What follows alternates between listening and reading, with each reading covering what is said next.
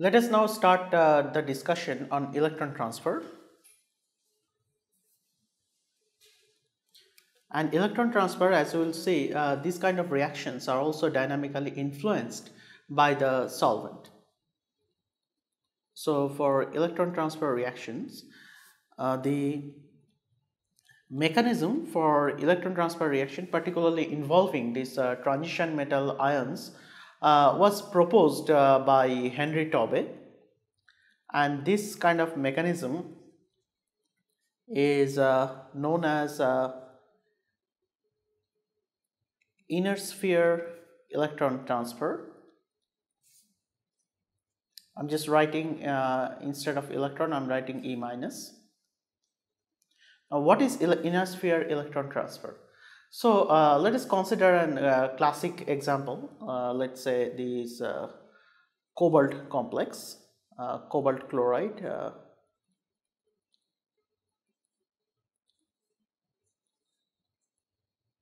Two plus and it reacts with chromium hexacycle complex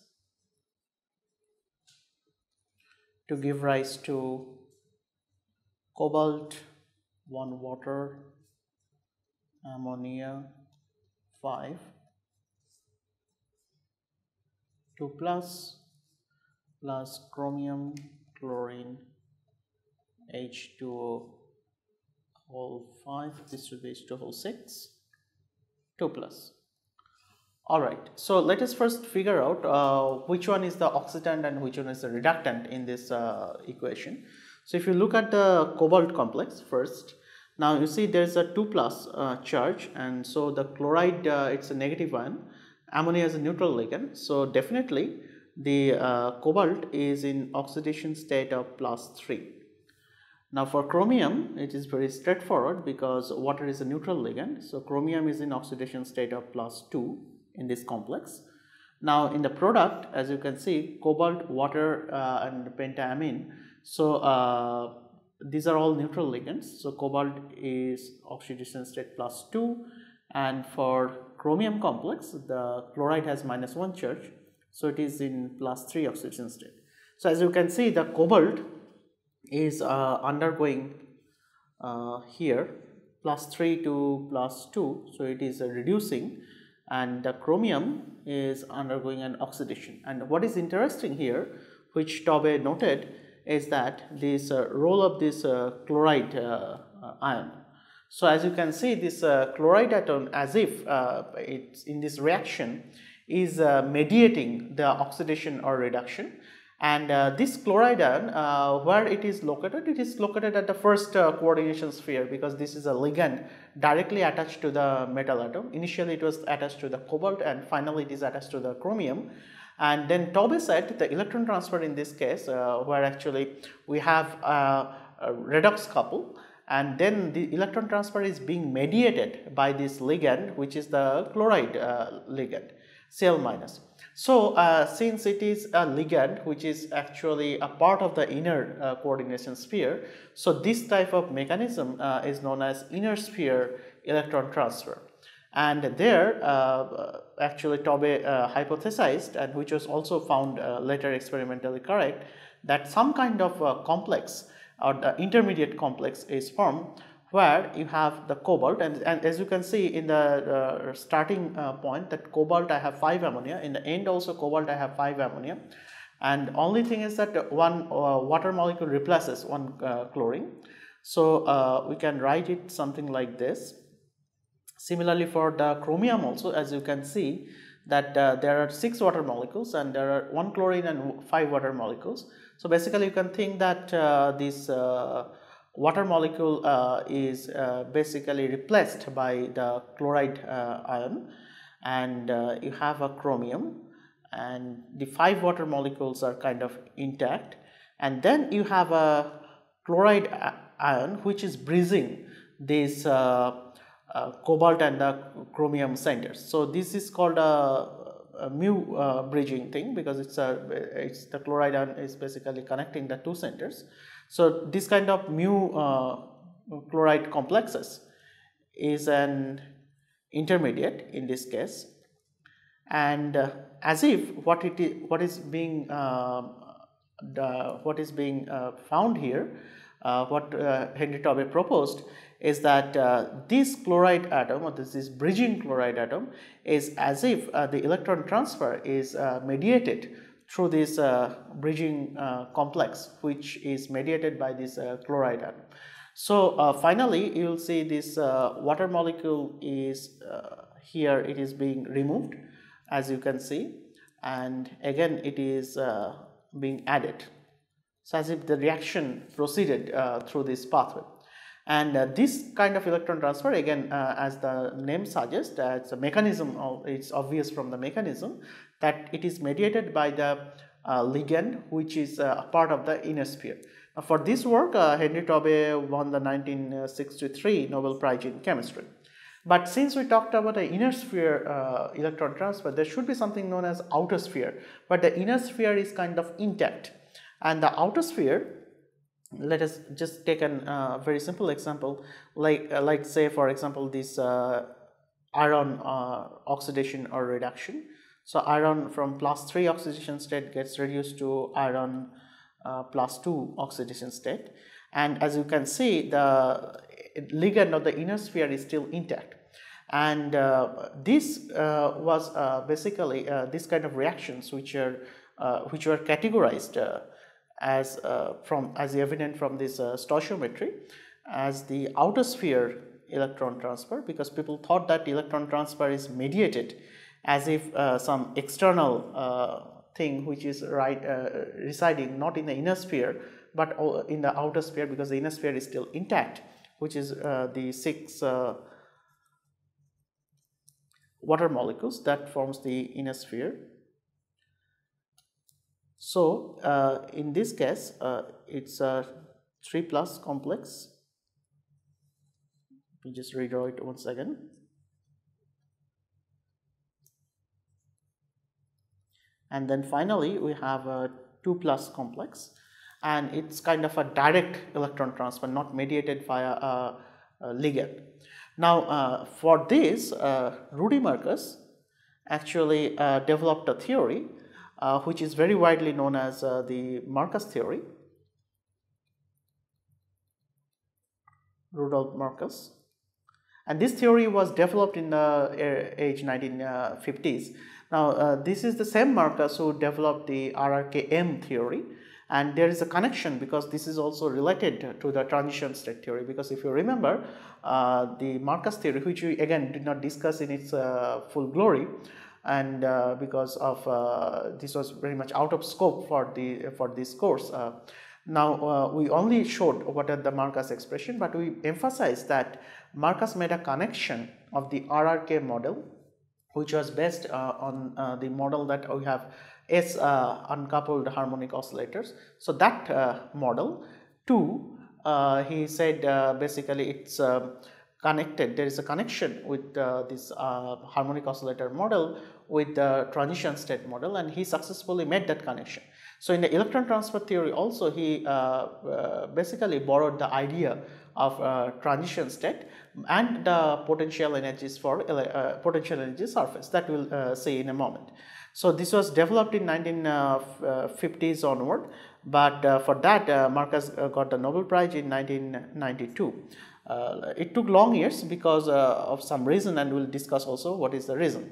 Now, suppose uh, for any general electron transfer reaction, suppose I have a donor and I have an acceptor and what happens is that first the donor and the acceptor comes close together and then they form a kind of complex. This is known as association complex association complex. Now, uh, once this association complex is formed, then uh, there is an electron transfer from the donor to the acceptor. So, then the donor gets a positive charge because of the electron loss and the acceptor gets a negative charge because of the gain in electron and then they uh, get uh, separated. So, uh, if the reaction uh, uh, the, uh, the rate determining step is this step that the formation of the association complex then the entire thing is basically uh, controlled how the uh, uh, reactants are coming closer together. So again this will be something like diffusion mediated, the rate will be diffusion mediated. However, if this is the rate determining step where actually the electron transfer from donor to acceptor is the rate determining step, then actually the question is how depending on the free energies of the donor and the acceptor, the rate of the reaction will change and that we are going to discuss. So, we are assuming that this uh, step is the rate determining step. You can and actually write it uh, all these uh, uh steps as a reversible steps uh, in the sense that uh, there could be association complex and they can fall apart. There could be electron transfer and there could be back electron transfer and all these things. So, we are assuming this in this case that the rate determining step is the electron transfer step itself.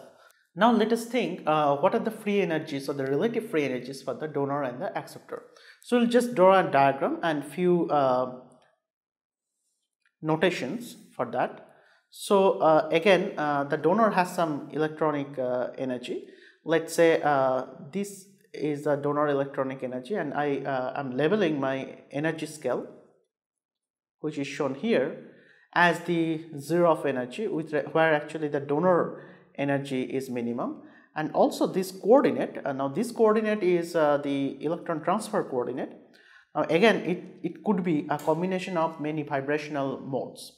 So this coordinate uh, is the electron transfer coordinate. And this coordinate may be a combination of many vibrational uh, degrees of freedom or vibrational modes. It may not be a single coordinate, but those combinations we are showing it as if it's a, a linear combination of this vibrational coordinate which gives you an effective one dimensional uh, reactive coordinate which is the electron transfer coordinate and again where the donor uh, electronic energies are minimum I call that uh, position as say 0. So, that now the donor will of course have some vibrational uh, motion with respect to the uh, this uh, reorganization of the solvents around it and I am just assuming here that these vibrational motions are all uh, harmonic in the sense that I have a parabola. This is just like the intramolecular vibration. So uh, we are this is basically uh, the same thing applied to the for the intermolecular vibrations. But the assumption is the same that I have a harmonic motion there and also I have a harmonic motion here. So this is basically the donor parabola. So I'm just labeling it as D. Maybe we can use some other color uh, just to make sure that uh, uh, we have sufficient distinguishing feature. So this is suppose the donor parabola. This drawing is not very good. So you can try uh, drawing once again the donor parabola. So it will be something like this is better. And then we also have an acceptor parabola which is something like this. So this is acceptor parabola and this is the donor parabola. Now uh, again uh, where the acceptor uh, energy is minimum, so that coordinate let us call it as uh, x double prime. So again x is the electron transfer coordinate and E is the free energy. And uh, also we see that at the point the donor and the acceptor uh, potential energy surfaces, these are all one dimensional potential energy surfaces with the harmonic approximation and that intersection let us call it as uh, position x prime. And now we see that uh, we have several things. Uh, so we have also an acceptor uh, minima which is somewhere here and since we called the donor uh, energy to be 0 let us say that the acceptor is stabilized uh, by an amount which I am calling is as this energy gap as delta G 0 now delta G0 is the free energy for the reaction donor to acceptor. Now the way I have drawn it actually delta G0 is negative. So the gap or the absolute value of the gap is minus delta G0. And then again uh, we will define one more quantity uh, that is how much energy you need uh, for the donor to cross this uh, donor acceptor uh, I mean cross point. So uh, that is kind of the activation energy for this and we'll since this is an activation energy we'll use a similar notation I will write it as delta G dagger notation. So we have delta G dagger and we have delta G0 already defined And there is also one more uh, interesting parameter and that is if you think that uh, if I just excite the donor vertically and if you see that excitation of uh, donor vertically means uh, the uh, it is an electronic excitation again. So, if I move it vertically which means actually I am not I am thinking that the solvents are not reorganizing meaning at this energy where I have uh, I mean it, when uh, basically I draw a vertical line from the donor minimum to uh, uh, a point where actually it uh, just crosses the acceptor parabola then I see that point means actually this is some energy with uh, respect to the again the donor. This is energy of the acceptor but this energy is basically the acceptor's energy for the same config same solvent configuration for the donor minimum. So, uh, basically you can think uh, let me first uh, draw this and uh, label this energy. So, this is this energy and that is known as reorganization energy or will call it as a lambda. So basically lambda tells it is the energy required for the acceptor to uh, go to the same solvent and vibrational uh, I mean uh, inter intramolecular as well as intermolecular degrees of freedom uh, so that uh, to, to tuning of that freedom so that it has the right configuration of the donor ground state geometry. So if we supply that much energy uh, from the uh, from the acceptor to the donor then from the to the acceptor then the acceptor will have some energy which has the same configuration as the donor has. And initially there are a lot of discussion. People are thinking that this reorganization energy how it basically takes into part how, how it basically takes part into this electron transfer rates. And people thought that if I vertically excite the donor and I uh, basically reach the acceptor uh, uh, curve then actually electron transfer will take place. But this is not uh, true because uh, what we will see that usually most of the electron transfer reactions are thermally activated not electronically activated. But we will still see that this reorganization energy or the lambda actually uh, takes part uh, into the uh, dynamics. So basically this is the reaction uh, free energy or free energy of the reaction. So again this free energy means actually this is reaction Gibbs free energy. Delta G dagger is nothing but the energy of activation or again it's a free energy of activation. And lambda one of the most important parameter is known as uh, solvent uh, reorganization energy or simply uh, reorganization energy. Now we will find a simple relation uh, between these terms and uh, keeping in mind that the rate constant for electron transfer according to the Eyring equation which is a transition state theory is given by kBT by h into e to the power minus delta g dagger by RT and if you remember there was an equilibrium here uh, be, uh, between these um, uh, once we did uh, all this interesting calculation and then we uh, showed uh, when we talked about the thermodynamic in interpretation of the activation uh, tra transition state theory, then we actually arrived at uh, a relation where actually we had this uh, kind of relationship uh, at this equation. Now this kBT by h again is coming from the Eyring equation and this delta G dagger is the free energy of activation. So we all we want is an expression for the delta G dagger with respect to the delta G 0 and then we are done. So let us now try to figure out, uh, I mean these are all parabolas, so we can actually write uh, the equation like uh, the equation for parabola as you know that is y equal to uh, x square.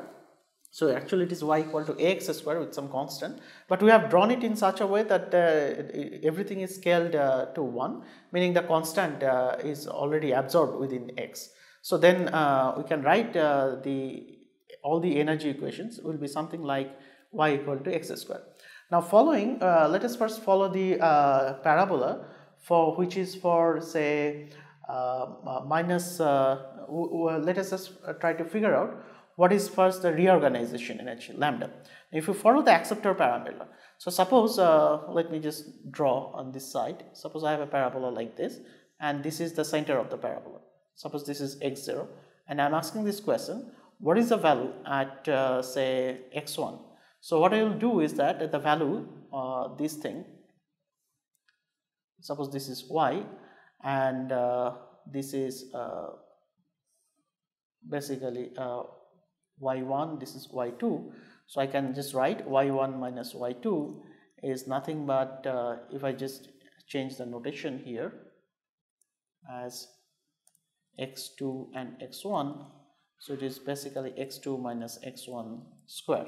So in the same token I am writing that uh, y1 minus y2 in this case is the lambda. So uh, the reorganization energy lambda is nothing but let me use some different color for the equations.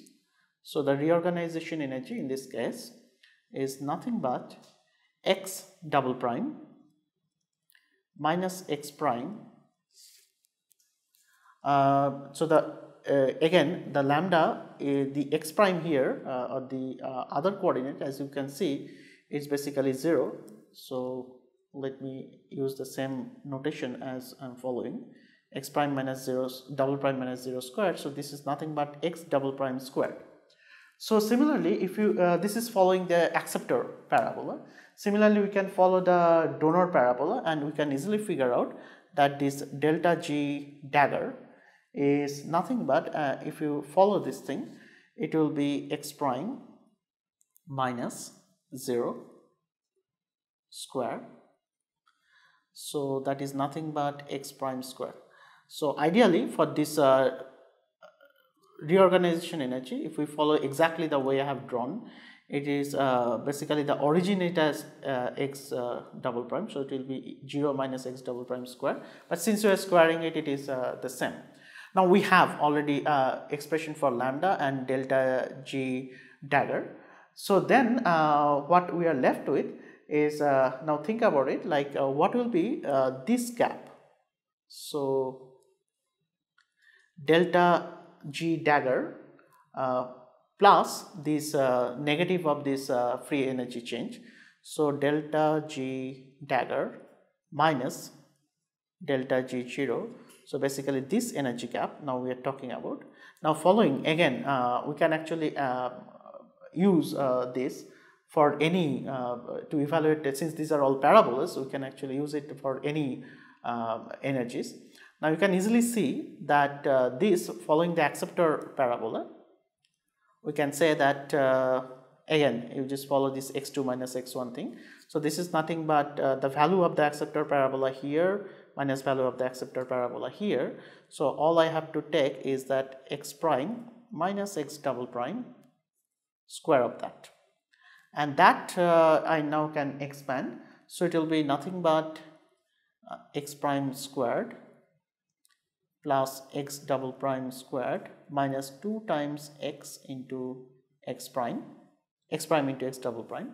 Now we can actually substitute the values of x double prime and x prime squared. Uh, so x prime squared I know that it is delta g dagger and uh, then what we have here is uh, x double prime squared is nothing but the reorganization energy lambda and uh, then I also have uh, the 2x x prime so that I can just write it as like this. It's not x x prime, it is x prime and x double prime. So we can actually get a very uh, simplified relation that we can see here that this delta g dagger term cancels out. So what we have is that 2x prime x double prime, I am just writing the expression for this term is nothing but lambda plus delta g 0 and then I can solve it for x prime. So x prime is nothing but lambda plus delta g 0 divided by 2x double prime and x double prime again is uh, nothing but uh, the square root of lambda but we are just keeping it like that and uh, so x prime is uh, we all we want is this quantity delta g dagger because remember that we are going to use the uh, equation for this. So, this equation where actually I have delta g dagger. So the expression for delta G dagger as we see here is nothing but x prime square. So I have to take the square of this uh, entire thing which is lambda plus delta G0 squared divided by 4 x double prime squared but I know that x double prime squared is nothing but the um, reorganization energy. So I have to write it as lambda plus delta G0 squared divided by 4 lambda. So we have already got an expression for delta G dagger. So the rate constant or the expression for the rate constant will be K is e to the power minus uh, delta G dagger by uh, RT or if I am talking about uh, not in terms of 1 mole so I can use KBT relation also but let us just use the RT uh, expression with uh, KBT by H prefactor. So this is nothing but KBT by H e to the power minus lambda plus delta G0 squared divided by 4 lambda. So this is the expression uh, we get uh, for Marcus theory. Now this is not a very uh, rigorous derivation of Marcus theory. There has been uh, few uh, approximations that we make and uh, those are basically there is no tight coupling between these electronic states of the donor and the acceptor and also this will hold if the donor and the acceptors are not too close with each other. So now we are going to see what is what are the consequences of the Marcus theory. Now uh, everything, uh, if I keep on increasing the delta G0, will uh, the, the, how the rate constant behaves will depend on this uh, interesting uh, I mean uh, relationship between delta G0 and the lambda. Now suppose we will consider four different scenarios where we will be using this Marcus theory. Now, what are these four different scenarios? Suppose actually I have a high negative values for uh, let's say or slightly uh, positive value for delta G0. Now, uh, what do you mean by that? So, uh, let us think that uh, the parabolas look like something like this. So, I was using a different color. So, let me also stick to the same color. So situation number one is I have donor parabola like this and then I have acceptor parabola which is situated like this and then another situation where I have the donor like this and the acceptor is like this. So in these two cases what we see here is that uh, the this term which is basically lambda plus delta G0 this term. So what is the sign of this term? Now lambda is always positive. Now if uh, the way I have drawn here uh, in the first figure as well as in the second figure is that this delta g0 is positive in the first figure in the second figure it is slightly negative so if it is slightly negative or positive overall this term is greater than 0 for 1 and 2. So, then what will happen if I increase the delta G0 in this case? Uh, so, the reaction rate actually decrease uh, because it is a highly negative number as we can uh, see it will be 4 lambda into RT. So, with respect, uh, so the if I just plot the reaction rate with uh, delta G0 we will see that uh, in this zone if I have uh, relationship between this uh, free energy and the reorganization energy, something like that, so that this term is always positive, then I'll have always e to the power minus uh, negative. So the reaction rate is not very high. Now the reaction rate will become maximum when this uh, lambda is perfectly uh, balancing the delta G0. Uh, in that case, if I want to draw the parabola, it will be something like this. I have a donor parabola and I have the acceptor parabola right here. Now you can see this is the situation 3 where I have the maximum rate. So uh, the reaction rate will be maximum but you can think also in this way that uh, this is basically uh, the cross point is right at the bottom of the donor. So uh, I have zero activation energy. This is very clear from this picture. So delta G dagger itself is zero and uh, or mathematically you, you say that the activation energy is nothing but uh, the uh, the reorganization energy is nothing but equal to the uh, negative of uh, the uh, free energy change in this reaction. And then if I move this parabola so the, what I'm doing I mean in this drawing is that I have a donor parabola and I have an acceptor parabola. So as if I started the acceptor parabola here and then I'm actually moving it down so uh, then if I move it further down, then I'll actually uh, uh basically I'm increasing the delta G0 further, then I'll hit a very very interesting situation where I'll have a situation like this. Because I'm moving it down the red uh, parabola. Now you see that in this case what will happen?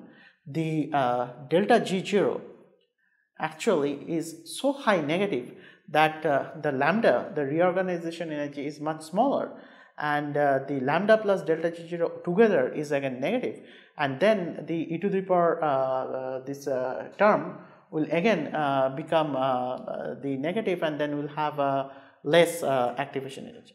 So, in the fourth case is very interesting. Now, what we see here is that the lambda plus delta g0 again will be very much positive in the sense that in this case the delta g0 is highly negative uh, Uh, it's not slightly negative. And uh, the uh, positive uh, uh, then actually we have the positive region of this Marcus theory. And then the reaction rate will again fall because so we have the fourth situation here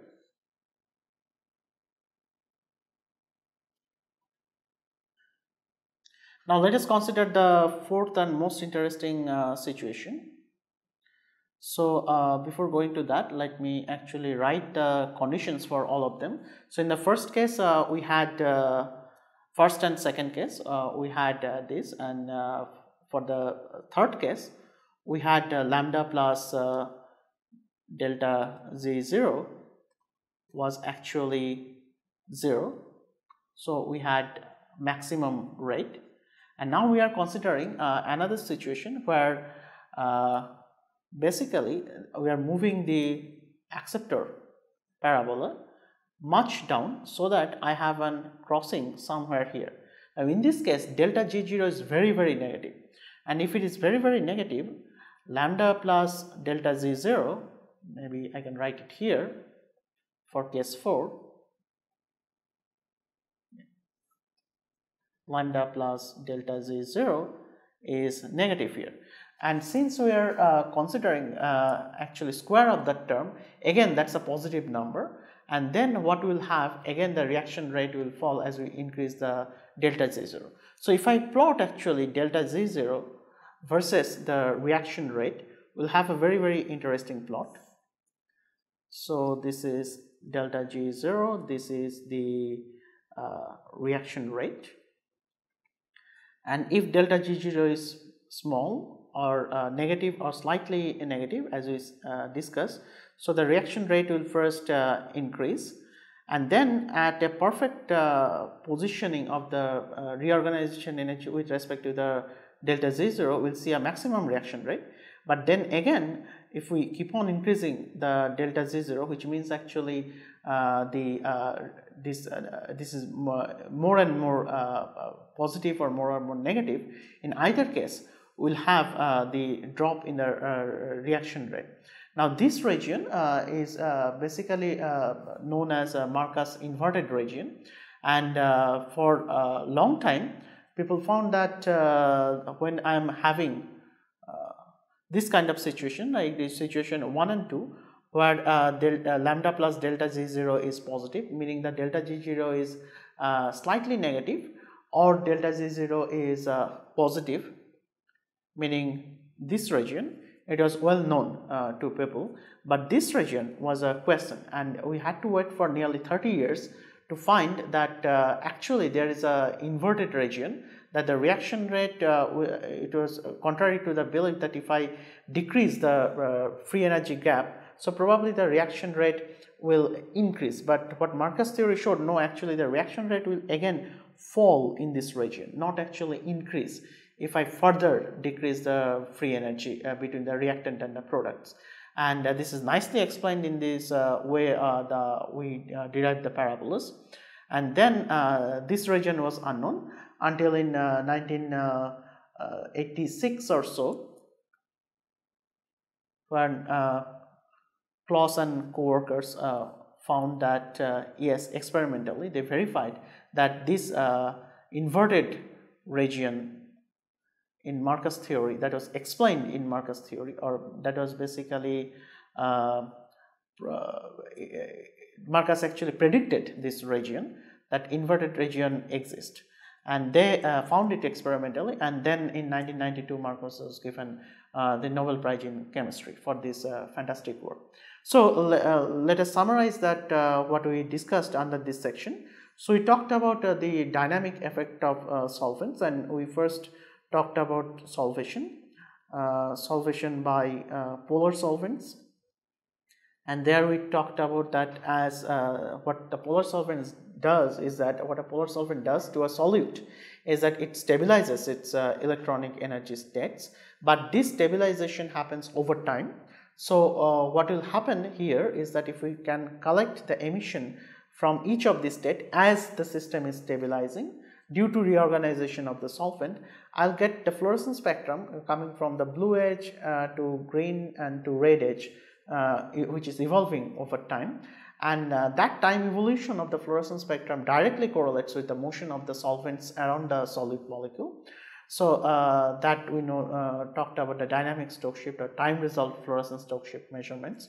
And secondly, we talked about uh, electron transfer and under electron transfer we talked about first the uh, inner sphere electron transfer when uh, um, ligand which is a part of the inner coordination sphere can actually uh, participate directly in, in the electron transfer reaction as if it is mediated by a ligand exchange uh, I mean uh, the uh, for, and by formation of a, of a mu bridging complex. And as opposed to the outer sphere electron transfer where actually the electron inner sphere is intact but somehow this uh, electron get is transferred through space. And that was described by uh, Marcus theory. And where we saw that uh, this Marcus theory shows I mean very correctly actually accounts for the fine balance between the free energy and the reorganization energy.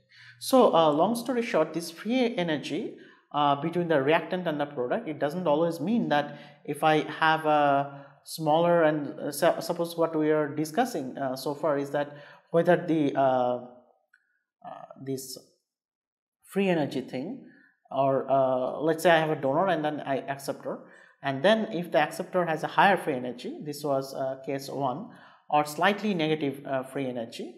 So, this was case 2 and then I have a very high free energy or where actually it is uh, we can actually have uh, the uh, zero activation energy.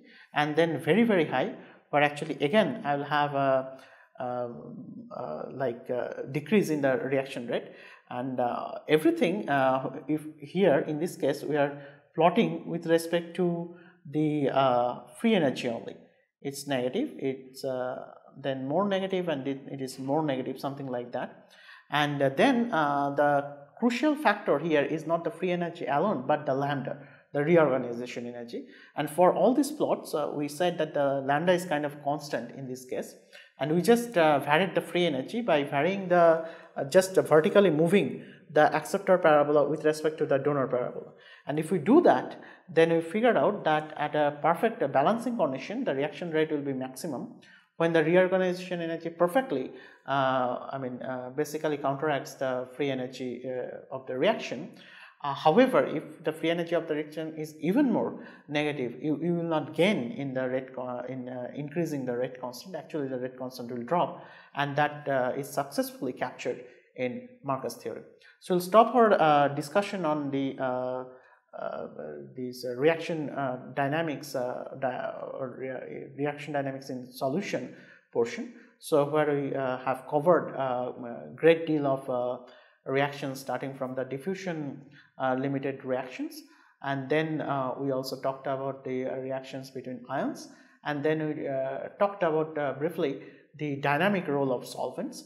And again, one can ask the, how, how, this is measured. We did not discuss again this uh, dynamics, uh, how this is uh, measured. one thing we mentioned when we talked about the kinetic measurements is the TCSPC technique. And uh, by TCSPC technique, one can actually uh, measure the uh, simply by electronics how how to basically uh, get the fluorescence spectrum or construct the fluorescence spectrum at different time. From that you can actually calculate the solvation time correlation function. Uh, there are also sophisticated techniques like fluorescence upconversion and many other techniques that we did not discuss. And electron transfer for example you can uh, uh study with say pump probe technique where suppose uh, after electron transfer you generate an acceptor species and this acceptor species has a uh, suppose uh, uh, characteristic absorption. So, you can initiate the electron transfer with some some optical pulse or, or infrared pulse. And then you can actually watch how this acceptor band is increasing over time. And how this acceptor absorbance is increasing. And from that actually you can uh, calculate the rates of the reaction and you can actually uh, infer, uh, you can have a lot of insights regarding the dynamics. So, uh, we will stop our discussion on this uh, reaction dynamics in uh, liquid phase here and uh, then the we will we'll, give you a summary of the course afterwards. Thank you.